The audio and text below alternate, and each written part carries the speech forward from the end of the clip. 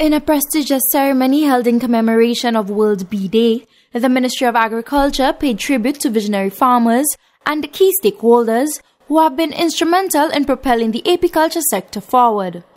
In attendance were representatives from the Inter-American Institute for Cooperation on Agriculture and the UNDP's Global Environment Fund Small Grants Program, who were recognized for their crucial role in fostering a conducive environment for agricultural progress. National Program Coordinator of the GEF Small Grants Program, Giles Romulus, commended the Agriculture Ministry for their initiative in promoting apiculture, emphasizing the significance of continued support and funding for the sector's expansion throughout St. Lucia and the OECS. Apiculture for us is a major theme for funding in St. Lucia and throughout the OECS.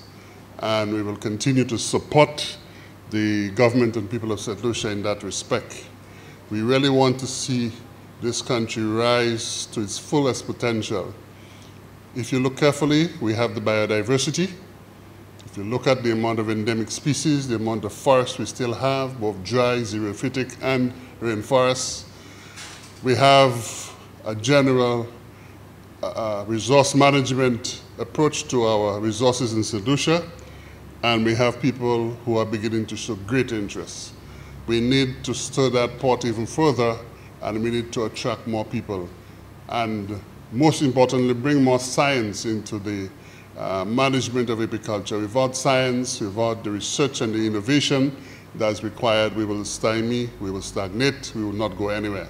The event also marked the launch of the apiculture catalogue and the upcoming Sustainable Honey Production Farmer Field School, signaling a new era of growth and innovation. Chief Veterinary Officer Dr. Shamin Melville Edwin expressed gratitude and admiration for the unwavering commitment, innovative approaches, and tireless efforts of the recognized individuals.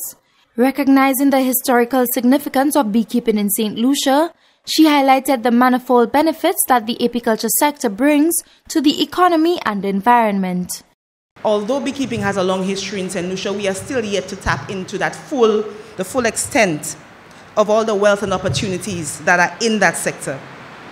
The demand for honey is increasing, and we are still unable to meet those demands.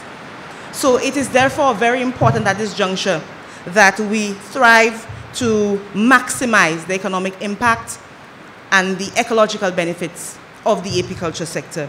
With innovative farmers leading the way, and stakeholders providing support, the Ministry of Agriculture remains steadfast in its commitment to advancing the apiculture sector and ensuring its continued growth. From the Communications Unit of the Ministry of Agriculture, I am Anicia Antoine reporting.